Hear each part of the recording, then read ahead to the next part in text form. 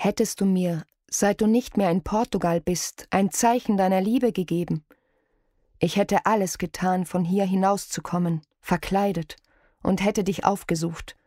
Himmel, was wäre aus mir geworden nach meiner Ankunft in Frankreich, wenn du dich nicht um mich gekümmert hättest.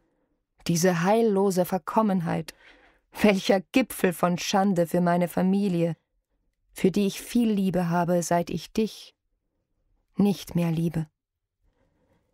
Ich gebe mir, siehst du, ganz kaltblütig Rechenschaft darüber, dass ich hätte unter Umständen noch bedauernswerter werden können, als ich bin.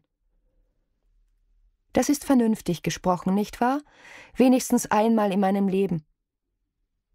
Ob es dir gefällt, dass ich mich zusammennehme, ob du zufrieden bist mit mir, will ich nicht wissen. Ich habe dich schon gebeten, mir nicht mehr zu schreiben. Ich bitte dich nochmals dringend darum. Ist dir noch nie zum Bewusstsein gekommen, auf welche Weise du mich behandelt hast? Denkst du niemals daran, dass du gegen mich mehr Verpflichtungen hast als gegen sonst jemand auf der Welt?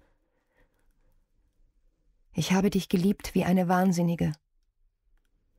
Wie habe ich nicht alles andere mit Füßen getreten? Dein Benehmen war nicht das eines Mannes von Ehre. Du musst schon gegen mich eine natürliche Abneigung gehabt haben, dass du nicht aus Liebe zu mir vergangen bist. Und was mich so von dir einnehmen konnte, das waren recht mittelmäßige Dinge. Was hast du mir eigentlich zum Gefallen getan? Welches Opfer hast du mir gebracht? Warst du nicht hinter tausend anderen Vergnügungen her? Das Spiel, die Jagd, hast du sie vielleicht aufgegeben?